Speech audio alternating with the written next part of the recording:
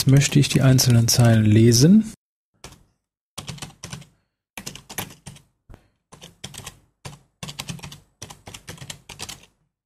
Innerhalb einer Schleife.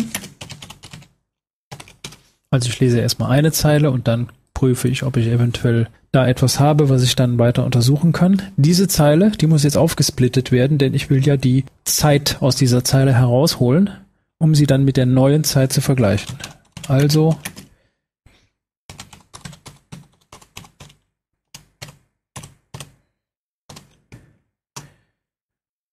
In Teile stehen dann die einzelnen Teile. Aufgesplittet habe ich nach Semikolons. Dann hole ich die Zeit, die in dieser Zeile steht, heraus.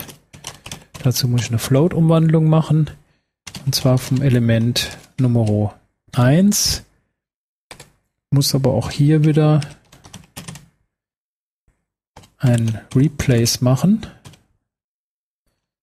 Nämlich die Kommata quasi rückverwandeln in Punkte, damit Python es versteht. Falls die neue Zeit, die jetzt eingetragen werden soll, besser ist, dann kann ich sie ja jetzt schon eintragen. Also if Differenz kleiner Zeit aus der Datei und bisher noch nicht eingetragen. Dann setze ich zunächst diese Variable auf True, damit sie in der Folge die neue Zeile nicht noch einmal eingetragen wird. Und dann wird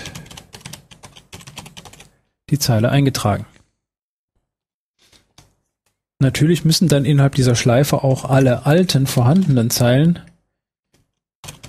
ebenfalls eingetragen werden. Also auch hier. Ah, da habe ich zu eifrig kopieren wollen. D aus write Zeile und lese die nächste aus meiner Eingabedatei. Also der Vorgang, ich lese eine Zeile, hole mir die Zeit heraus, trage dann in die Ausgabedatei eben entsprechend die Zeile auch wiederum ein und habe vielleicht an dieser Stelle dann die neue Zeit zusätzlich eingefügt. So, falls die noch gar nicht eingetragen wurde, die neue Zeit, es kann ja sein, dass alle Zeiten, die bisher da waren, besser waren, dann muss das jetzt geschehen. Also, falls noch nicht eingetragen, dann als letzte Zeile eintragen. If not eingetragen, d aus write Zeile neu. So, jetzt ist sie in jedem Fall eingetragen, entweder zwischendrin oder ganz am Ende. Jetzt müssen wir hingehen und beide Dateien schließen.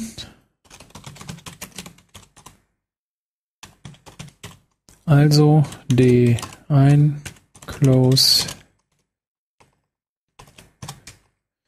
d aus close dann Dateien umbenennen bzw. löschen. Nämlich die alte Datei,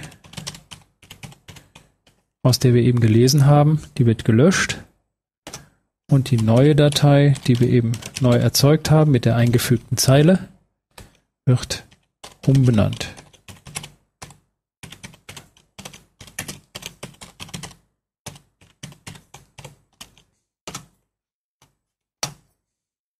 So, damit steht uns dann wiederum die geänderte Datei Spiel CSV zur Verfügung und die können wir jetzt nehmen, um die Daten auszugeben.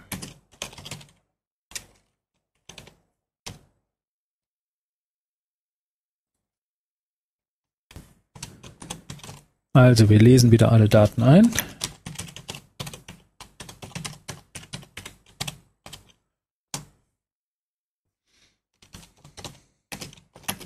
lesen die erste Zeile, schreiben eine Schleife, splitten dann die gelesene Zeile wiederum auf. Anhand des Semikolons. Und geben dann die einzelnen Werte aus, insgesamt fünf Stück.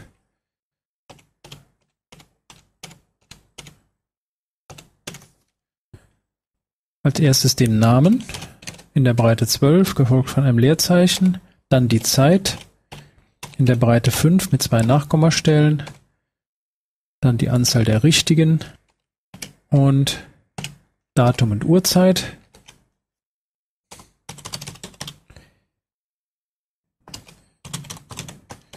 Da holen wir Teile 0.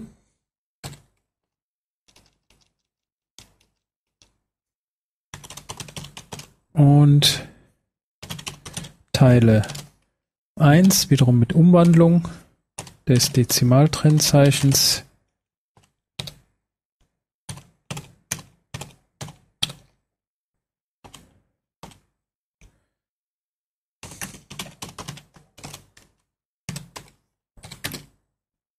Dann folgen die restlichen Teile.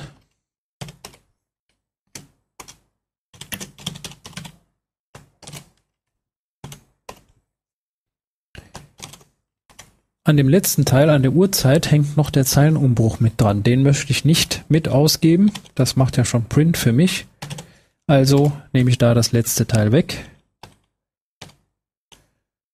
So, dann haben wir die zwei Klammern geschlossen. Einmal von Format und einmal von Print und lesen die nächste Zeile innerhalb unserer Schleife ein.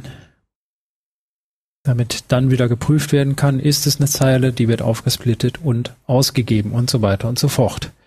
Dann wollen wir unser Programm einmal starten. Allerdings bevor ich es starte, schaue ich noch einmal kurz durch in den neu hinzugefügten Teilen ob ich mit den Variablen richtig gearbeitet habe. D aus jeweils, hier dann D ein und D aus. D ein, D aus, D aus, D ein. Hier auch wieder. Das sieht soweit gut aus. Hier kleine Korrektur muss natürlich D ein heißen. Hier genauso. Denn hier habe ich ja wieder mit meiner Eingabedatei gearbeitet und dann können wir das Ganze mal starten. Da kommt die erste Aufgabe.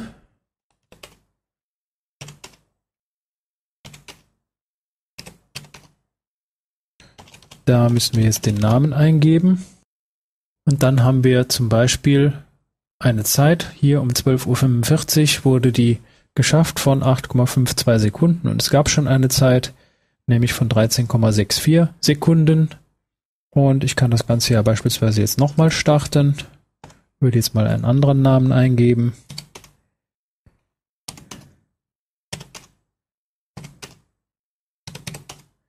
Da sagen wir mal Bernd. Und das war jetzt die Zeit von 8,05 Sekunden. Die wurde dann auch ganz vorne einsortiert, weil die eben etwas besser war. Fünf richtige, Datum und Uhrzeit und hier ist der Name. Hat also soweit geklappt mit Speicherung in einer CSV-Datei und die ist auch immer ständig sortiert. Und gleichzeitig könnte ich mir die CSV-Datei auch in Excel leicht anschauen.